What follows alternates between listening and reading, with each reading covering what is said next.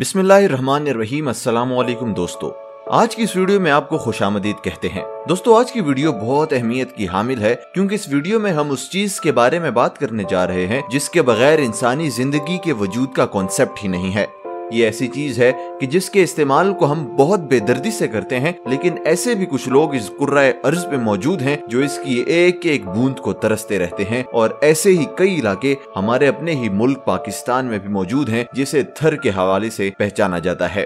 دوستو، آج اس ویڈیو میں پانی سے متعلق ایک معروف جاپانی سائنٹسٹ ڈاکٹر مسارو ایموٹو کی تحقیق پہ مبنی ایک رپورٹ کی بات کریں گے۔ دوستو، اس رپورٹ کو سننے کے بعد آپ کو پتا چلے گا کہ پانی کے اوپر کہے گئے کچھ الفاظ، اس کی حیت اور اہمیت پہ کس قدر اثر انداز ہوتے ہیں۔ دوستو، ایک حیران کن بات ضرور ہے، لیکن ڈاکٹر مسارو ایموٹو نے تحقیق کے بعد اس چیز کا اندیا دیا ہے جسے ہم کسی صورت رد نہیں کر سکتے۔ اور سائنسدان کے یہ انکشافات اس قدر خوشگوار اور حیران کن ہیں کہ آپ کا اللہ تعالیٰ کی ذات پر ایمان اور مضبوط ہو جائے گا اور آپ اللہ تعالیٰ کا اور زیادہ شکر ادا کریں گے۔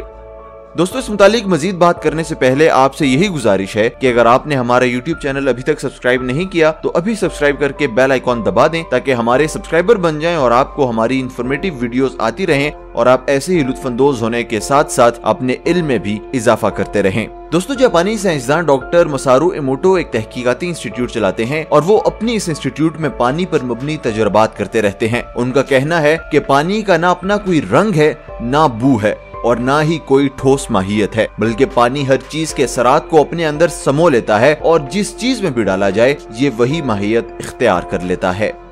دوستو ڈاکٹر ایموٹو کا پانی پر مختلف تجربات کے حوالے سے ان کی کتاب the hidden messages in water میں بیان ہے، جس کا اردو ترجمہ پانی کے عجائبات میں دلچسپ انداز میں کیا گیا ہے۔ جسے پڑھ کر ہمیں شکر اور ناشکری کے الفاظ حیران کن اثرات کا اندازہ ہوتا ہے۔ دوستو، پانی کے گلاس پر قرآنی آیات دم کرنے سے اس پر کیا اثرات مرتب ہوتے ہیں؟ اور ڈاکٹر ایموٹو نے اپنی کتاب میں اس کے بارے میں کیا لکھا ہے؟ یہ تو آگے چل کر آپ کو بتائیں گے، مگر پہلے آپ کو یہ بتا دیں کہ اگر پانی پر کچھ دنیاوی کلمات پڑھائے جائیں تو اس کے خواص میں کیا حیران کن تبدیلیاں رونما ہوتی ہیں اور کس طرح سے پانی اپنی ماہیت اور حیت کو تبدیل کر دیتا ہے۔ دوستو جاپانی سائنسدان نے اپنی لیبورٹری میں پانی پر تجربات کا آغاز اس کو برف کے ذرات یعنی کرسٹل کی شکل میں جمانے سے کیا۔ اس مقصد کے لیے اس نے ڈسٹلڈ واٹر، نلکے کا پانی اور دریا اور جھیل کے پانیوں کے نمونے لیے اور برف کے ذرات میں جمانے کے لیے ان کو رکھ دیا گیا۔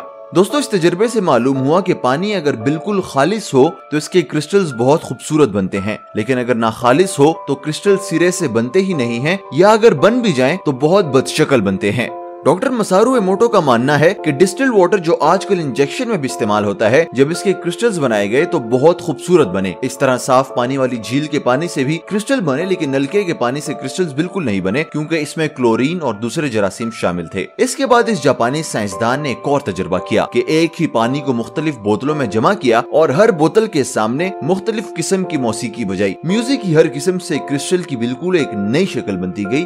یعنی اس کا مطلب یہ ہوا کہ پانی ہر موسیقی کے مختلف اثر لیتا گیا اور اس کے بعد اس نے ایک اور تجربہ کیا جس کے نتائج اور حیران کن تھے۔ اس نے شیشے کی سفید بوتلوں میں مختلف اقسام کا پانی کے سیمپل جمع کیے، جس میں ڈسٹل واٹر کی بوتل پر اس نے لکھا یو فول اور نلکے کے پانی کے بوتل پر لکھا تھینک یو یعنی خالص پانی کو حکارت امیز جملے سے مخاطب کیا اور نلکے کے پانی کو شکر گزاری کے الفاظ سے مخاطب کیا۔ اور ان دونوں بوتلوں کو لیبورٹری میں مختلف مقامات پر رکھ دیا گیا۔ دوستو، اس کے بعد لیبورٹری کے تمام ملازمین سے کہا گیا کہ جب تک اس بوتل کے پاس سے گزرو، تو یو فول والے بوتل کے پانی کو دیکھ کر یو فول پکارو اور تھینک یو کے پاس ٹھہر کر سینے پہ ہاتھ رکھ کر جو کچھ کہو، بڑی شکر گزاری کے ساتھ تھینک یو بولو۔ یہ عمل پچیس دن تک جاری رہا اور چھبیس دن بوتلوں کی پانی کو برف بنانے کے عمل سے گزارا گیا۔ دوستو، نتائج حیران کن تھے۔ ڈسٹل واٹر جو کہ خالص پانی تھا اور اس سے پہلے اس پانی کی بہت خوبصورت کرسٹل بنے تھے، اب اس پانی کے کرسٹلز بنے تو ضرور، لیکن انتہائی بد شکل کرسٹلز بنے۔ دوستو، ڈاکٹر ایموٹو کا کہنا تھا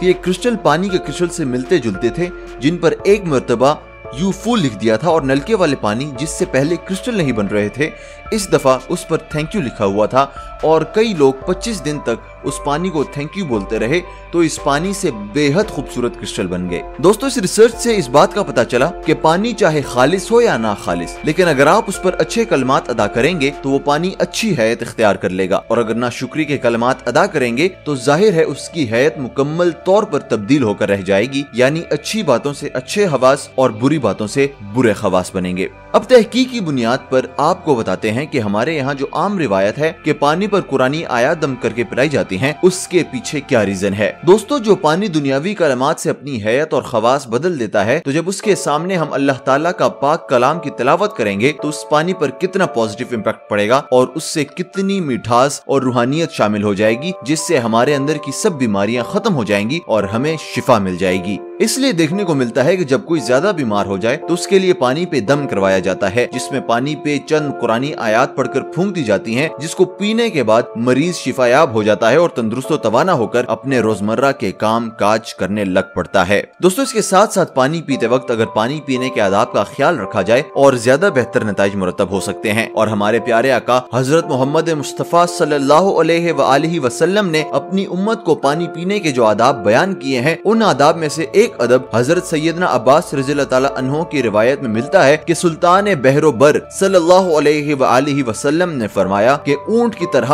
ایک ہی گھونٹ میں پانی نہ پی جایا کرو، بلکہ پانی کو دو یا تین بار پیا کرو اور جب پینے لگو تو بسم اللہ پڑھا کرو اور جب پی چکو تو الحمدللہ کہا کرو۔ دوستو یعنی چودہ سو سال قبل نبی آخر الزمان صلی اللہ علیہ وآلہ وسلم نے ہمیں یہ تلقین کی تھی کہ ہر بار جب آپ پانی پینے کا آغاز کریں تو اللہ کے نام سے کریں اور جب پانی پی چکے ہوں تو اس پر شکر گزاری کے کلمات کے طور پر الحمدللہ ضرور پڑھیں۔ تو دوستو، ان باتوں سے ایک بات اور سمجھ آتی ہے کہ جب ہم پانی پر رسول کائنات صلی اللہ علیہ وآلہ وسلم کے فرمان کے مطابق بسم اللہ الرحمن الرحیم پڑھتے ہیں تو اس میں کس طرح کی برکات پیدا ہوتی ہیں اور شیطان دور بھاگتا ہے۔ کھانے پینے کی چیزوں پر سورہ فاتحہ یا کوئی بھی کلام پاک پڑھا جاتا ہے تو پانی کی ماہیت کی طرح یہ کھانا بھی کس طرح تبدیل ہو کر پینے والے اور کھانے والے کو شفا بخشتا ہے۔ اور جب ہم روٹی کے ہر لکمے پہ اللہ کا نام یا واجدوں پڑھ کر کھاتے ہیں تو وہ کس طرح ہمارے اندر کیسے نور پیدا کر دیتا ہے۔ دوستو، اس تجزیہ اور تجربے کی ڈائمنشنز اور بھی ہیں کہ جب ہم کھانے پینے کی اشیاء سامنے رکھ کر جو بولتے ہیں اور جو سوچتے ہیں تو ہمارا کھانا اس کا اثر ضرور لیتا ہے۔ یعنی منفی سوچ اور منفی باتوں کا برا اثر اور اچھی باتوں کا اچھا تاثر لیا جاتا ہے۔ کھانے کے دوران لوگ غیبت کریں گے تو کھانا برا اثر دے گا اور ہمارے پیٹ میں جائے گا، مگر ڈرامے اور ٹی وی دیکھتے ہوئے کھانا کھایا جائے گا تو وہ کھانا ہمارے پیٹ میں جا کر بھی ویسا ہی اثر دکھائے گا۔ اور اگر پانی کے ساتھ موسیقی بجائی جائے تو ہمارے پیٹ میں بھی وہی اثرات مرتب ہوں گے۔ اور اگر ہمارا کھانا اور پینا اللہ کا کلام جذب کرے گا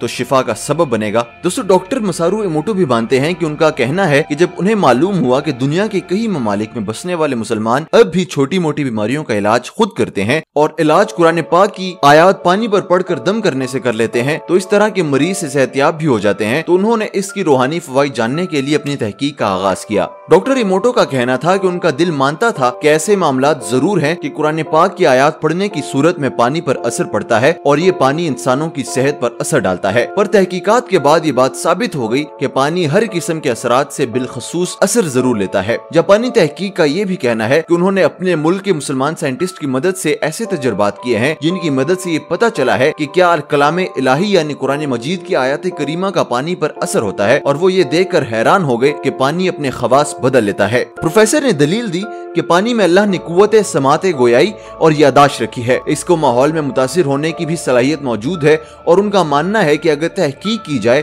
تو یقیناً یہ بات درست ثابت ہوگی کہ قرآن کی ہر آیت کا پانی پر اثر الگ الگ ہوتا ہے، لیکن ہمیں اس کے لیے الگ شعبے تحقیق قائم کرنا ہوں گے۔ دوستو، ڈاکٹر کا کہنا تھا کہ قدرت کی بنائی ہوئی ہر شے، حتیٰ کہ پانی میں بھی ایسی صلاحیت ہے کہ وہ اللہ کا شعور رکھتا ہے، بلکہ اس کا ذکر بھی کرتا ہے۔ یہی وجہ ہے کہ جب پانی پر اللہ تعالیٰ کا ببرکت نام لیا جاتا ہے، تو پانی پر آیات دم کی جاتی ہیں، تو نہ صرف اس کی خاصیت بدل جاتی ہے، بلکہ اس پانی کی اثر پذیری میں بھی انتہائی اضافہ ہو جاتا ہے۔ تو دوستو، اس تحقیق سے ایک بات واضح ہو گئی کہ ہم جو پانی پیتے ہیں، اس کا ہماری شخصیت پہ کیا اثر پڑتا ہے اور کس طرح سے وہ ہماری شخصیت کو افیکٹ کرتی ہے۔ دوستو، پانی سے دوستی کرنے سے بہت سے مسائل سے بچا جا سکتا ہے۔ جیسے اگر انسان باوضو رہے، تو کافی حد تک اپنے غصے کو بھی قابو میں رکھ سکتا ہے اور اس کی زندگی میں سکون اور قرار بھی آ جائے گا۔ دوستو، اگر آپ نے ہمارا یوٹیوب چینل ابھی تک سبسکرائب نہیں کیا، تو ابھی سبسکرائب کر کے بیل آئیکن دبا دیں تاکہ ہمارے سبسکرائبر بن جائیں اور آپ کو ہماری انفارمیٹیو ویڈیوز آتی رہیں۔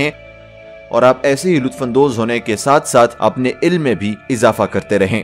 امید کرتا ہوں کہ آج کی یہ ویڈیو آپ کو پسند آئی ہوگی۔ اگر آپ کو یہ ویڈیو پسند آئی ہے تو اسے اپنے دوستوں کے ساتھ ضرور شیئر کیجیے گا اور لائک کرنا ہرگز نہ بھولیے گا۔ ساتھ ہی کومنٹ سیکشن میں ہمیں ضرور آگاہ کیجیے کہ آپ کو یہ ویڈیو کیسی لگی ہے۔ دوستوں اگلی انفارمیٹیو ویڈیو کے ساتھ دوبارہ آپ کی خدمت میں حاضر ہوں گے۔ تب تک کے لیے اللہ نگہبان۔